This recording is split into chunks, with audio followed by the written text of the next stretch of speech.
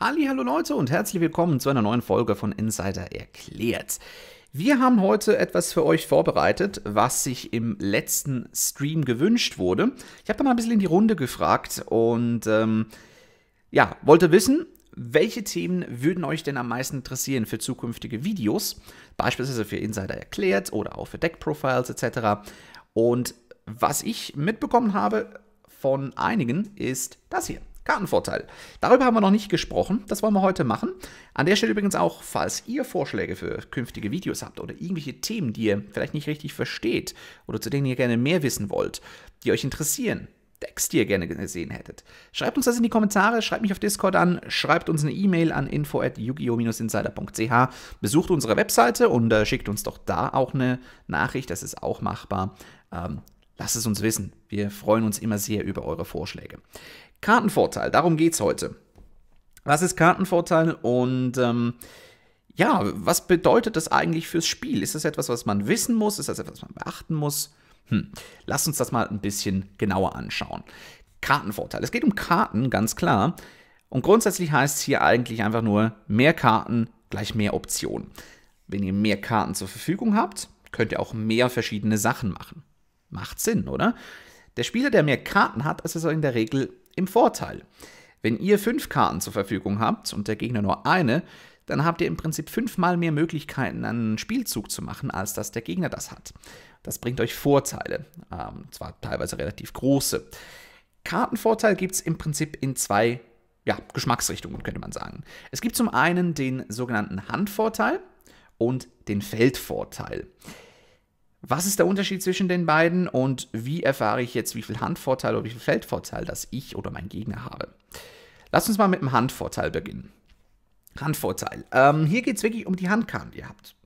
Ganz einfach. Schauen wir uns mal Karten an, die den Handvorteil beeinflussen. Ich habe mir da mal einfach die Töpfe rausgesucht, weil das so ziemlich die einfachsten und äh, klassischsten Beispiele sind für Handkartenvorteil. Gerade von neuen Spielern oder auch Spielern, die von einem anderen TCG auf Yu-Gi-Oh! wechseln, hört man immer wieder, ja, Topf der Gier, ziehe zwei Karten, okay, warum ist die Karte verboten seit 14 Jahren? Was macht die Karte so gut? Sie generiert kostenlosen Handvorteil und das ist eine ziemlich mächtige Geschichte. Schauen wir uns das mal ganz kurz an. Wie, was ist Handvorteil? Wie berechnet sich das? Was ist das? Wir haben momentan drei Karten in der Hand. Handvorteil beschreibt eigentlich nur die Anzahl Karten, die ihr vor einer Aktion habt, im Vergleich zur Anzahl Karten, die ihr nach einer Aktion habt. Beispiel von Topf der Gier hier, wenn wir jetzt Topf der Gier mal aktivieren, haben wir eine Karte weniger in der Hand und dürfen dafür zwei Karten ziehen.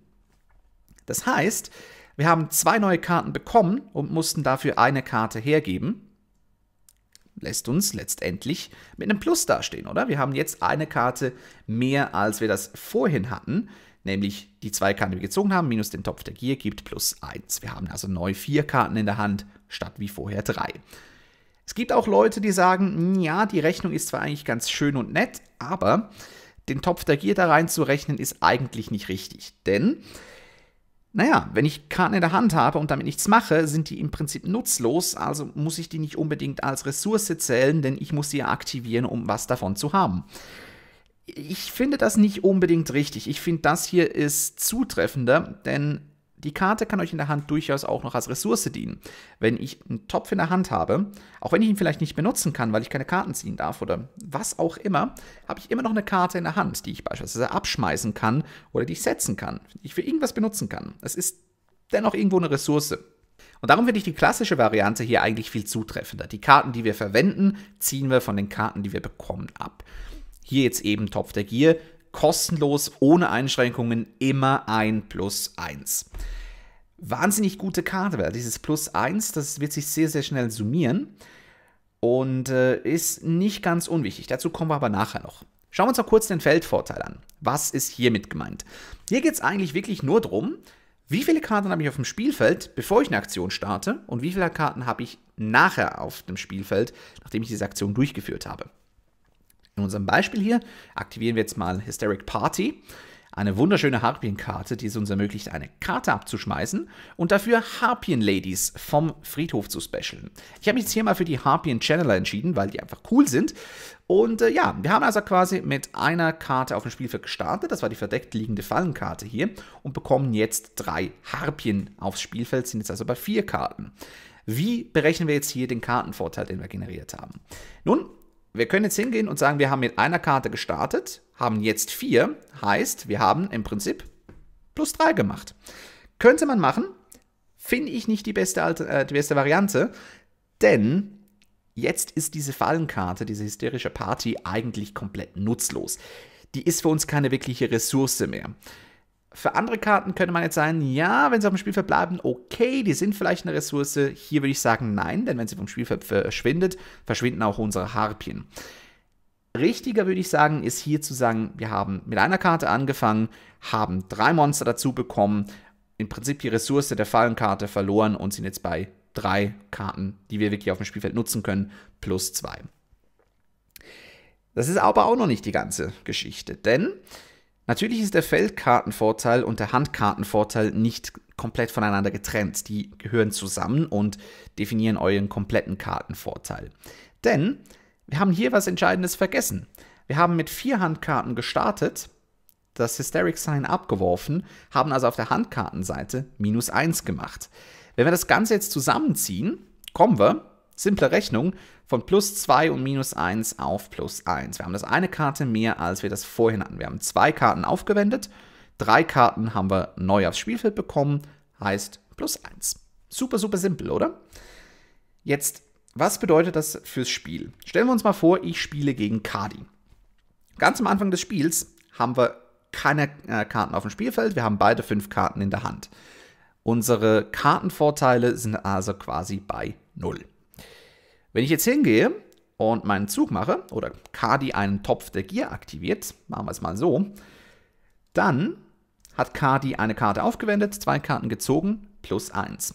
Kadi hat jetzt also sechs Karten in der Hand, wo ich immer noch nur fünf habe. Das heißt, Kadi hat eine Karte mehr als ich.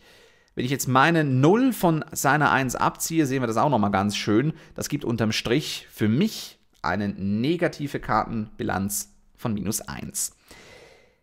Jetzt ist halt die Frage, kann ich damit überhaupt irgendwas anfangen? Das ist mathematisch alles ganz wunderbar und voll äh, interessant und schön und toll, aber bringt mir das denn wirklich was fürs Spiel? Was bringt mir dies, diesen Kartenvorteil zu kennen? Spielt das irgendeine Rolle? Ja und nein. Zum einen ist es gut, das im Hinterkopf zu behalten und zu wissen, dass es existiert und dass es ein, ein Thema ist. Denn grundsätzlich ist es schon so, wenn ihr mehr Karten habt, habt ihr bessere Chancen, das Spiel zu gewinnen. Einfach weil ihr mehr Optionen habt. Das ist das, was wir am Anfang schon angeschaut haben. Wichtig ist dabei aber zu sagen, dass gerade heute, wo wir Karten haben, die mit ein, zwei Karten in der Rückhand ganze Spiele drehen können, das hier nicht mehr so ein riesengroßes Thema ist wie früher. Früher konnte man wirklich sagen, hey, wenn ihr jetzt wirklich zwei, drei Züge gespielt habt oder vielleicht auch vier, fünf Züge gespielt habt und in jedem Zug hat euer Gegner ein, zwei Karten verloren und ihr habt ein, zwei Karten gut gemacht, ja, dann ist es schon relativ schnell mal relativ klar, wer das Spiel gewinnen wird. Heute hingegen, wenn ihr in einer Runde mal ein bisschen Minus macht, in der nächsten wieder ein bisschen Plus und in der nächsten wieder mal ein bisschen Minus und dann nochmal ein bisschen Minus, heißt das noch lange nicht, dass ihr das Spiel verlieren werdet. Ihr könntet eine Karte von oben nachziehen, die das Spiel komplett dreht, weil sie euch viel, viel mehr Kartenvorteil generiert als all das, was ihr bisher eingebüßt habt. Oder aber euch eine Wall aufs Spielfeld stellt, die euch zwar Kartenvorteil technisch nicht wirklich viel äh, bringt, den Gegner aber daran hindert, weiteren Vorteil zu generieren. Und auch das kann euch im Prinzip das Spiel wieder drehen.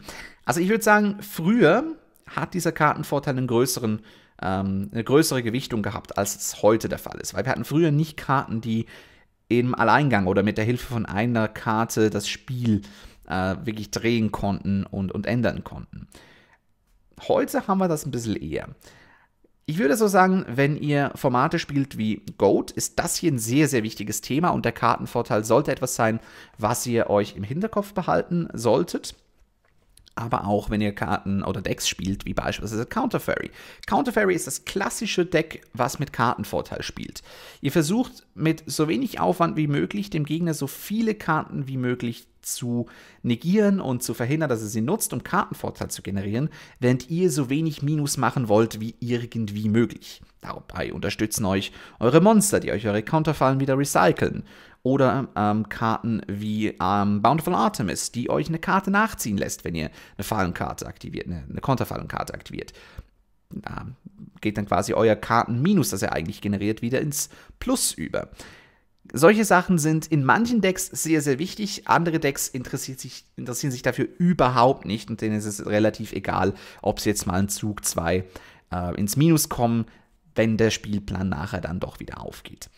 Also ganz allgemein gesagt, heutzutage macht euch da keinen allzu großen Kopf drüber. Es ist wichtig, das ein bisschen im Blick zu behalten und es gibt durchaus Situationen, wo es wichtig ist, dass ihr auf Kartenvorteil spielt. Es gibt auch Situationen, wo es sinnvoll ist, ins Minus zu gehen, ganz bewusst ins Minus zu gehen, um das Spiel drehen zu können. Stellt euch vor, Gegner hat ein Tower-Monster draußen oder irgendein Monster, was euch am Spielen hindert, wie beispielsweise einen äh, Masked Hero Darklaw oder einen Vanity's Fiend, Majesty's Fiend, irgendwie sowas. Die kriegt ihr vielleicht mit einer Karte nicht weg. Müsst zwei Karten aufwenden, um sie loszuwerden.